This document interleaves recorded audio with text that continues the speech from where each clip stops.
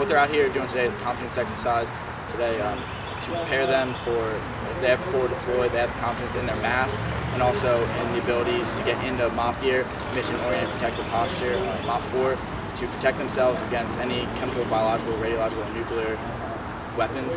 They do this once a year because it's just a refresher every year to make sure that they're not losing any of the fundamentals to make sure that they can properly protect themselves if a CBRN uh, attack should happen. What the MOPP suit is, it's a four-piece suit. It has rubber coat, protective trousers, your gloves, and your boots. It raises your body core temperature 10 to 15 degrees.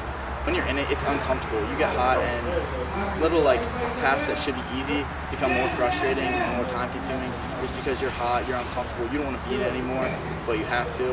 It protects you against like liquid contamination, chemical, biological, alpha and beta particles, toxins.